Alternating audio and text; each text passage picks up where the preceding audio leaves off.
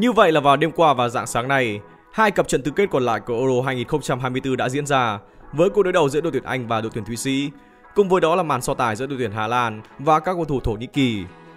Như chúng ta đã biết, cả đội tuyển Anh lẫn đội tuyển Hà Lan đều đã được hưởng niềm vui. Tuy vậy cách mà hai đội bóng này giành chiến thắng là rất khác nhau và đem đến những cảm xúc trái chiều đối với các khán giả. Huấn luyện viên Gareth Southgate từng nhận rất nhiều chỉ trích về việc mãi dập khuôn nhân sự cũng như lối chơi của đội tuyển Anh kể từ đầu Euro 2024. Quan trọng là điều đó không mấy mang lại sự hiệu quả, nếu không muốn nói thẳng là bất ổn. Tưởng chừng trận tứ kết sẽ đánh dấu bước ngoặt cho sự thay đổi của Tam Sư, thì một lần nữa, nhà cầm quân người Anh khiến giới chuyên môn và người hâm mộ ngỡ ngàng và bất bình khi giữ nguyên toàn bộ đội hình thi đấu. Có chăng, sự khác biệt chỉ nằm ở chỗ đội tuyển Anh vắng Mark Way, người nhận án treo giò, và Esri Konsa được lựa chọn để thay thế. Ở chiều ngược lại, huấn luyện viên Murat Yakin cũng quyết định đặt chọn niềm tin vào 11 cầu thủ đã thi đấu rất hay ở trận đấu vòng 1/8. Dẫu vậy, đây là được đánh giá là quyết định dễ hiểu, bởi hạc có gì phải thay đổi khi Granit Xhaka và các đồng đội khi đó đã thi đấu tốt và quật ngã được ông lớn Italia. Sau tiếng còi khai cuộc, chứng kiến thế trận chặt chẽ được hai đội tạo ra, tâm lý giả chừng cũng là điều cần thiết trong trận cầu có tính chất quan trọng thế này. Những phút sau đó, Thụy Sĩ dần cho thấy sự chủ động khi tranh cướp bóng hai và cố gắng khoét vào hai cánh của tuyển Anh. Ở chiều ngược lại, Tam Sư cũng dần cho thấy sự mạch lạc hơn trong những pha triển khai tấn công so với thời gian đầu trận cũng như cả với những trận trước. Và điểm sáng trên hàng công của họ vẫn là cái tên quen thuộc Harry Kane. Khoảng thời gian cuối hiệp 1, thế trận nhàm chán được duy trì khi bóng chủ yếu chỉ lăn ở phần giữa sân. Đúng là kịch hay thì phải chờ đến phút cuối. Phút cuối cùng của hiệp 1, Kobe Mainu xâm nhập vòng cấm dứt điểm sau đường truyền của Bukayo Saka nhưng đội trưởng Granit Saka đã có pha cản phá, cứu thua 10-10 cho Thụy Sĩ. Dẫu vậy, bàn thắng thì vẫn chưa tới và đây cũng là tình huống nguy hiểm nhất trong 45 phút đầu tiên. Bước sang hiệp 2, đội tuyển Thụy Sĩ như lột xác với diện mạo hoàn toàn khác. Họ chơi mạnh dạn hơn khi Embolo và Erischer liên tục quẩy phá không thành của tuyển Anh. Đầu tiên là tình huống Saka chuyển bóng tinh tế để Embolo xâm nhập vòng cấm. Chân sút từ biên chế AS Monaco xoay người dứt điểm, nhưng bóng đi quá nhẹ trước khi nằm gọn trong tay thủ môn Pickford. Sau đó không lâu, Embolo tiếp tục dứt điểm bằng đầu cận thành. Đáng tiếc rằng bóng trúng hậu vệ người Anh trước khi nằm gọn trong tay của thủ môn Pickford. Đến lượt Ebisher bắt vô lề một chạm sát mép vòng cấm, đưa bóng đi vọt sang ngang khung thành của tuyển Anh. Và màn lột xác về lối chơi của đội bóng xứ sở đồng hồ cũng giúp họ tạo ra sự khác biệt trên bảng tỷ số. Phút thứ 75, Endoye thoát xuống ở cánh phải, nỗ lực căng ngang đưa bóng chạm chân trung vệ John Stone của tuyển Anh tới đúng vị trí của Breel Embolo và tiền đạo người Thụy Sĩ dễ dàng dứt điểm cận thành, tung lưới thủ môn Pickford để khai thông thế bế tắc. Giờ thì mọi chuyện càng trở nên khó khăn với đội tuyển Anh với huấn luyện viên Gareth Southgate. Không để lại được nhiều dấu ấn kể từ đầu trận và giờ còn lại phải nhận bàn thua, thay đổi là điều tất yếu. Nhà cầm quân Tam Sư tung vào sân ba cầu thủ cùng lúc với sự hiện diện của Luke Shaw, Cole Palmer và Eberichi Eze. Sự thay đổi người chưa mang lại tác dụng, song đội bóng sư sở sương mù cũng nhanh chóng tạo ra sự khác biệt. Chỉ 5 phút sau khi đội tuyển Thụy Sĩ được ăn mừng, thì phía bên này chiến tuyến cũng mở hội tương tự. Saka đột phá từ cánh phải vào trung lộ trước khi tung ra cú dứt điểm kỹ thuật bằng lòng trong chân trái, găm bóng vào góc xa, khiến thủ thành Sommer trở thành khán giả bất đắc dĩ. Tỷ số được quân bình một đều cho tuyển Anh. Trận đấu trở về vạch xuất phát và sẽ đáng xem hơn bao giờ hết. Tất nhiên, Thụy Sĩ không bằng lòng với viễn cảnh bị kéo vào hiệp phụ. Họ dồn lên tấn công với hy vọng có được bàn thắng để an bài trận đấu trong 90 phút thi đấu chính thức. Dẫu vậy, kế hoạch của họ đã phá sản khi không thể khoan thủng được hàng thủ của Tam Sư.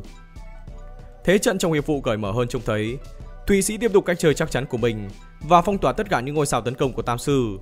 Tuyển Anh thi đấu hay hơn trong 15 phút đầu với những cú dứt điểm nguy hiểm của Declan Rice và Jude Bellingham, nhưng không thắng được thủ thành Jan Sommer. Trong khi đó, Thụy Sĩ có 5 phút cuối hiệp phụ thứ hai tăng tốc và khiến khung thành tuyển Anh trao đảo. Serdan Sakiri đã phạt góc dung chuyển sang ngang trước khi Whitmer đã đại bác, khiến Pickford vất vả cản phá. Không thể giải quyết nhau sau 120 phút trên sân, Anh và Thụy Sĩ buộc phải định đoạt trận đấu trên chấm 11m đầy may rủi. Tại đây, thủ thành Jordan Pickford sắm vai người hùng khi cản phá cú đá đầu tiên của trung vệ Manuel Akanji, trong khi năm cầu thủ của đội tuyển Anh cũng thể hiện được bản lĩnh và sự chính xác khi thực hiện thành công các cú sút của mình, qua đó giúp đội nhà giành chiến thắng chung cuộc 5-3 ở loạt luân lưu. Vượt qua cửa tử, thầy trò huấn luyện viên Gareth Southgate sẽ tiến vào trận bán kết và đụng độ đội tuyển Hà Lan. Đội đã vượt qua Thổ Nhĩ Kỳ ở trận tứ kết sau đó. Xứng đáng là trận cầu Hà Màn cho loạt trận tứ kết của Euro 2024.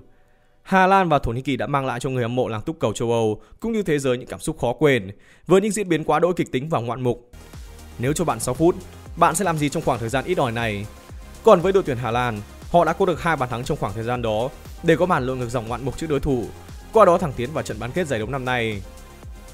Trước trận đấu này, người hâm mộ sẽ kỳ vọng các cầu thủ Hà Lan có thể giải mã được hiện tượng mang tên Thổ Nhĩ Kỳ sau khi thắng thuyết phục Rumani ở vòng đấu 1/8, nhất là khi Thổ Nhĩ Kỳ thiếu một số trụ cột do án treo giò.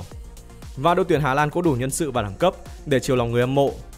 Cơn lốc màu da cam liên tục càn quét phần sân của đối phương sau tiếng còi khai cuộc. Tuy nhiên, Thổ Nhĩ Kỳ cũng cho thấy họ xứng đáng với danh xưng hiện tượng của Euro năm nay.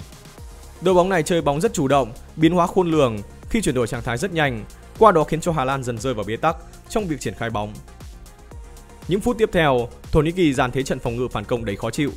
Dẫu vậy, họ cũng không bỏ bê mặt trận tấn công khi bóng liên tục được mở dài lên cho Baris Alper Yilmaz phía trên tranh chấp và xử lý. Và ở phút thứ 35, họ đã thực sự khiến ông lớn Hà Lan phải ngỡ ngàng. Từ cánh phải, Ada Guler tạt bóng rất dẻo vào trong vòng 16m50, qua đó tạo điều kiện cho trung vệ Samet Akedin đánh đầu cận thành, mở tỷ số cho Thổ Nhĩ Kỳ. Thổ Nhĩ Kỳ ở Euro năm nay là một đội bóng không chỉ gây được bất ngờ mà còn có sự già dờ và tỉnh táo. Sau khi có được bàn thắng, ngay lập tức lại quay về chơi phòng ngự chủ động và kín kẽ. Trong thế bế tắc, đội tuyển Hà Lan cũng chẳng thể làm được gì cho đến khi tiếng còi mãn cuộc của hiệp 1 vang lên. Bước sang hiệp 2, không bất ngờ khi đội tuyển Hà Lan bắt đầu tăng tốc và dồn ép Thổ Nhĩ Kỳ, hòng có được ít nhất bàn gỡ hòa. Liên tiếp là những pha khuấy đảo hàng phòng ngự của đối phương được cơn lốc màu da cam tạo ra. Và sau những nỗ lực không biết mệt mỏi, đoàn quân của huấn luyện Ronald Koeman cũng đã được đền đáp ở phút 70. Ở tình huống phản góc sau đó, Depay kiến tạo cho De Bruyne bật cao đánh đầu cận thành, quân bình tỷ số một đều. Trên đà hưng phấn sau khi có được bàn gỡ hòa, đội tuyển Hà Lan chỉ chờ thêm 6 phút nữa để làm nên sự khác biệt tiếp theo. Dumfries căng ngang khó chịu từ cánh phải vào trong cho Gakpo đá bồi cận thành ghi bàn, nâng tỷ số lên 2-1 cho club màu da cam. Tuy nhiên theo thông báo từ ban tổ chức, pha bóng này được tính là pha phản lấy nhà của Matt Mundur bởi bóng chạm vào chân cầu thủ này cuối cùng trước khi đi vào lưới. Tuy nhiên dù thế nào thì quan trọng vẫn là kết quả được hiển thị trên bảng tỷ số và đội tuyển Hà Lan đang là đội dẫn trước. Ở thế không còn gì để mất, đội tuyển Thổ Nhĩ Kỳ vùng lên tấn công để vớt vát lại chút hy vọng cuối cùng. 15 phút cuối là đủ để họ có thể ghi được bàn thắng gỡ hòa, thậm chí làm được nhiều điều hơn thế. Thực tế, Thổ Nhĩ Kỳ cũng đã tạo ra rất nhiều cơ hội nguy hiểm, đặc biệt là những phút cuối trận. Không lâu sau pha đặt lòng trách bên cánh trái của Selic bị Van der Ven phá ra trước vạch vôi, khi Dixoy cũng có pha kết thúc cẩn thành, nhưng bị thủ môn Verbruggen xuất sắc cứu thua. Không ghi được thêm bàn thắng, đội tuyển Thổ Nhĩ Kỳ đành ngậm ngùi chấp nhận thất bại chung cuộc với tỷ số 1-2 trước Hà Lan, qua đó phải dừng bước ở tứ kết Euro năm nay. Còn với Hà Lan, họ đã có được 6 phút kỳ diệu và tấm vé vào bán kết cũng là thành quả xứng đáng cho những nỗ lực và phản ánh đúng đẳng cấp của đội bóng áo cam. Đây cũng là lần gần nhất sau 20 năm họ mới làm được điều này. Như vậy hai cặp trận bán kết của Euro 2024 đã được xác định. Đội tuyển Tây Ban Nha đại chiến với nhà đương kim á quân thế giới Pháp tại Allianz Arena vào ngày 10 tháng 7 sắp tới.